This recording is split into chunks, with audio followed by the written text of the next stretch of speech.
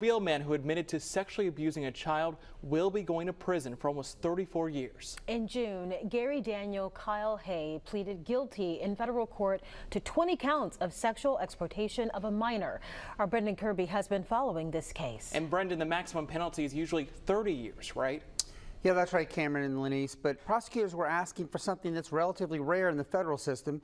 They wanted the judge to stack those prison terms on top of one another. That would have what, uh, produce what amounts to be a life sentence. U.S. District Judge Kristi DuBose didn't go quite that far. She sentenced Hay to the maximum 30 years for those 30 counts, but ordered them to be served at the same time. She did, however, tack on an additional 45 months on the final count access with intent to view child pornography. That results a total sentence of 33 years and nine months. The facts of the case are tough to take. The defendant's own lawyer acknowledging that they involve very bad conduct on Hay's part.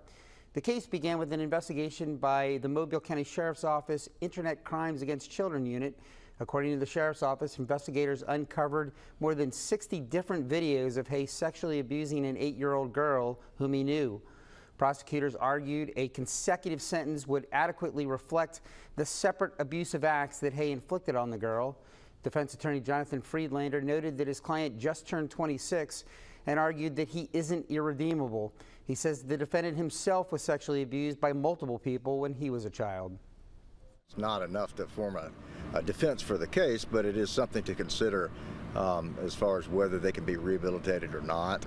Um, you know, if they can, because most of them um, bury this stuff down if, if, the person's never caught and they never get counseling for it.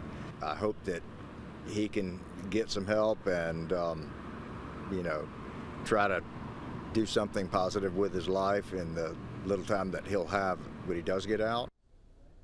After his prison sentence, Hay will be supervised by the U.S. Probation Office for 15 years. The judge also ordered him to pay $45,500 in restitution to cover the future costs of counseling for his victim. Reporting live in the News Center, Brendan Kirby, Fox 10 News.